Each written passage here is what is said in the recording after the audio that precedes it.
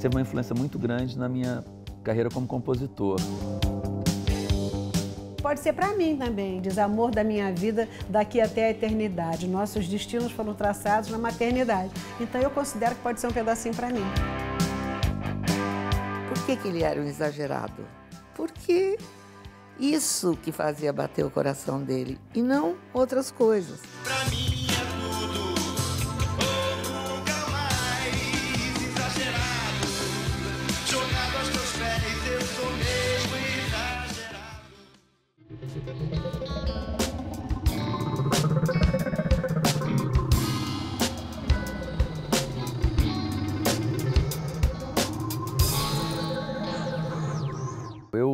fui contactado pelo Ezequiel Neves para fazer uma, uma melodia para uma letra deles, dos dois, é, segundo Ezequiel, porque o Cazuza estava para sair do Barão Vermelho e para começar a carreira solo dele, ele precisava de um hit. As pessoas brincaram que ele teve uma baronite aguda. Eu fiquei apavorada, eu fiquei achando, ai, pronto, terminou a carreira dele porque estava indo tudo tão bem, os discos fazendo sucesso, todo mundo falando do Barão, cantaram no Rock in Rio, estava tranquilo, ah, que bom que ele achou o caminho dele e tudo, né? Mas aí ele veio, chegou em casa e falou, mamãe, estou saindo do Barão. Eu quase tive um troço, você está louco, você vai fazer o quê? Vai ser mendigo, vai pedir esmola na rua, o que você vai fazer? Me conta. Aí ele falou assim, não, eu não divido nada com ninguém, porque eu sou filho único, então nem o palco, não quero dividir o palco com ninguém, eu quero cantar as músicas que eu quiser. Cazuza pensou nessa letra dessa música exagerada, ele fez meio junto com o Zeca Ezequiel Neves, que era o parceiro, empresário, produtor, tudo do, do Barão Vermelho. E um grande amigo do Cazuza. Aí eles marcaram, um dia foram lá em casa, e eu me lembro dele levar a letra. Era uma letra enorme, enorme, meio sem forma. E eles. E o Cazuza falou: olha, essa coisa exagerada, é uma, é uma coisa meio latina. Eu queria que fosse um bolero. Eu nunca tinha composto um bolero, não gosto de bolero, não ouvia bolero. Falei para ele, cara, não vou fazer um bolero, não tenho a menor ideia. Deixa aí a letra, eu vejo o que eu vou fazer. E aí eu resolvi que ia fazer uma coisa mais, mais rock and roll mesmo, mas uma coisa que fosse um pouco mais exagerada. Eu pensei em The Who, aquelas coisas, que é como começa a música, para dar já um, um tom exagerado na, na canção. Me lembro claramente de mostrar a música e imediatamente eles começaram a tocar. Começar um arranjo ali mesmo na hora. E a base ficou pronta no dia que eu mostrei. Exagerado, jogado aos teus pés, eu sou mesmo exagerado. O primeiro disco solo do Cazuza, porque justamente foi o primeiro disco que ele gravou depois que ele saiu do Barão. Chama-se Exagerado.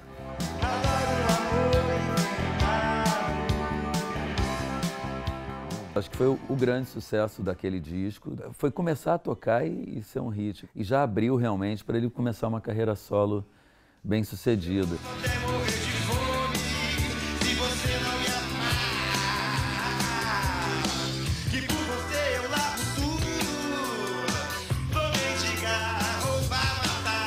Aí é que o trabalho dele cresce muito, porque ele não era um autor de letras simplórias, vamos dizer, entre aspas. Não, as letras dele tinham profundidade, inclusive essa, que eu acho sensacional. Pra mim é tudo.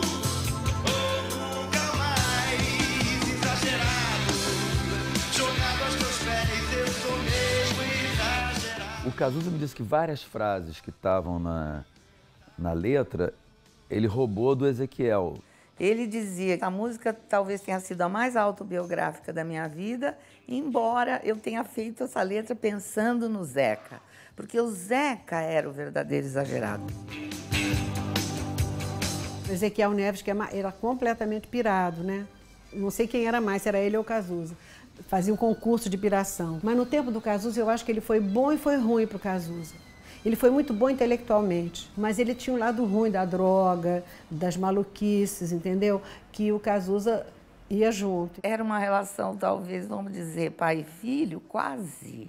Mas o pai que é colega, o pai que vai com ele para a noite, o pai que, vai, que faz as, entra nas loucuras dele, todas, de droga, de sexo, de tudo.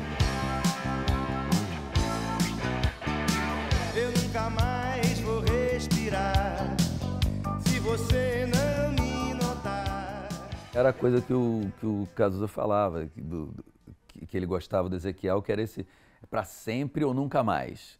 Não tinha um meio termo, ah, a gente se gosta, a gente tem um, um, um, lance legal e confortável. Não é, é uma coisa ou é explosivo ou não existe. E esse traçados da maternidade é isso. Não, ninguém bebezinho está pensando em ter um relacionamento, mas nesse caso específico, como é ele, foi o que aconteceu. Né? Pode ser para mim também. Eu tenho ela no meu telefone, que diz amor da minha vida daqui até a eternidade. Nossos destinos foram traçados na maternidade. Então eu considero que pode ser um pedacinho para mim. Amor da minha vida daqui até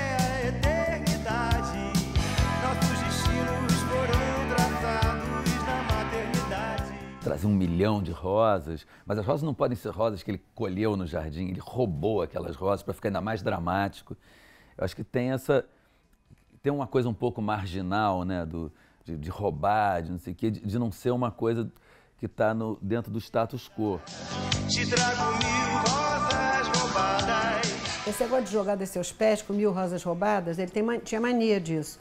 Ele era fã da Elza Soares, por exemplo. Encontrou uma vez a Elza no Maracanã para um festival qualquer, ele se jogou aos pés dela. E ele pegava rosa, jogava os pés dela. Ela até que me contou isso, que eu não estava lá nesse dia. Então, é a cara dele isso. Com mil rosas roubadas, já vi até que ele roubou alguma rosa de algum lugar e jogou lá para ela, né? Jogada a teus pés, eu sou sempre, eu sou mesmo exagerado. Eu gosto muito das imagens que ele usa, modernas, para falar de sentimentos antigos e, e perenes, né?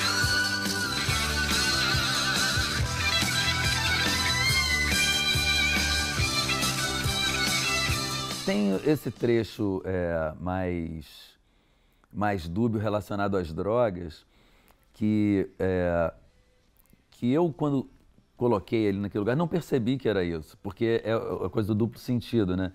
Por você eu largo tudo, é, carreira, dinheiro, canudo. Mas para mim, eu sempre ouvi, ah, se você não tem um canudo, você não vai se, dar bem na vida. Só que tem a carreira, aí o dinheiro faz o canudo e cheira a carreira, e não sei o quê. Ele pegou essas palavras que eram do, do, do, cotidiano das pessoas normais, né, de ter uma carreira, dinheiro, canudo, não sei o quê, e, e, e misturou com a, a realidade da, de drogas, do submundo, que, que é, foi muito bem sacado.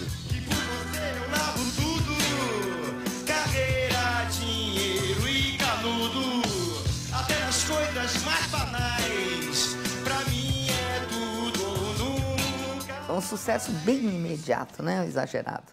Porque até aí já se sabia quem era o Cazuza, ele já tinha se mostrado, aqui veio no mundo, né? Para quebrar regras, para fazer o que ele queria, para ser um poeta genuíno da sua geração. O Cazuza ficou uma figura lendária né, do, do rock nacional. E essa música eu acho que é, é realmente não, não, sei explicar, mas é, é assim, é eu começar e, e sentir que, o, que, que, a plateia pega fogo.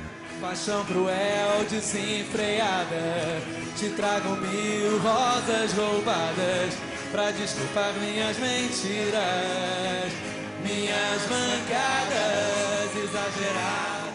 Virou um clássico, né? não sou só eu que toco, um monte de gente toca essa música.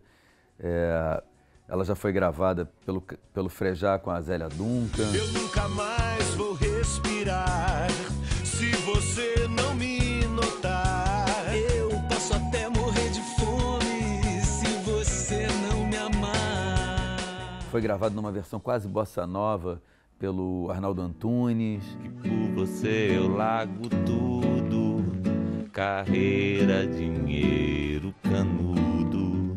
Acho que a Simone gravou exagerado também. Pra mim é tudo nunca mais exagerado. Só cada seus pés eu sou mesmo exagerado.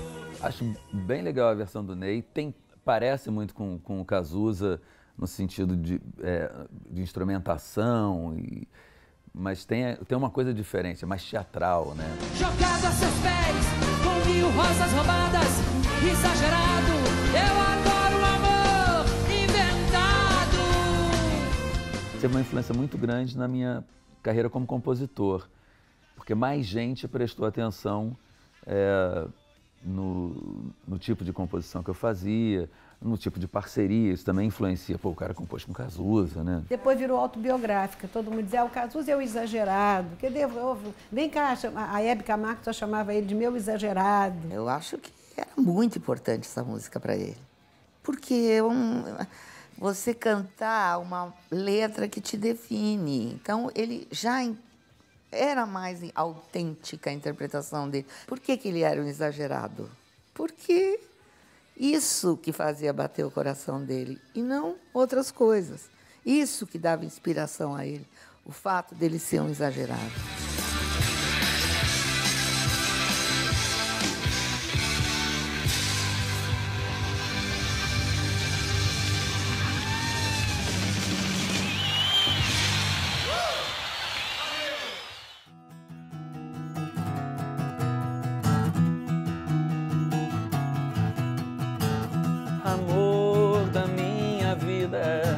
Daqui até a eternidade. Nossos destinos foram traçados da maternidade. Paixão cruel, desenfreada. Te trago mil rosas roubadas pra desculpar minhas mentiras, minhas mancadas. Exagerado, jogado a seus pés, eu sou mesmo exagerado adora um amor inventado. É. Jogado aos seus pés, com mil rosas roubadas, exagerado.